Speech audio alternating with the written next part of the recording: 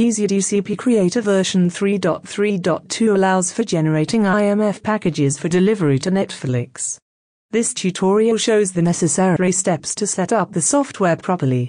First, select the IMF App 2 Extended as project type, enter a project name, and create a new project.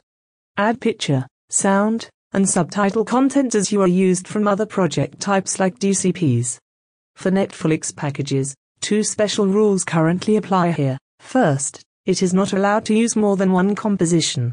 Even if EasyDCP Creator 3.3.2 allows for creating IMF App 2 extended packages with more than one composition, Netflix might not accept those files at this time.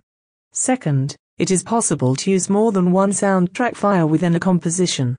Such composition may contain audio tracks representing either one stereo audio track with two channels or a surround track with six channels. It could even contain both soundtrack files. When dealing with UHD material, it is necessary to subsample the picture material. This is a restriction of IMF App 2 Extended. Therefore, right-click on the loaded picture inputs and choose Color Processing.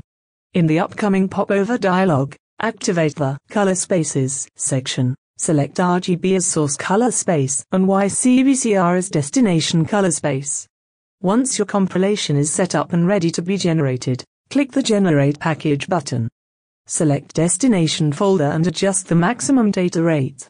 Finally, click Start to compile the package.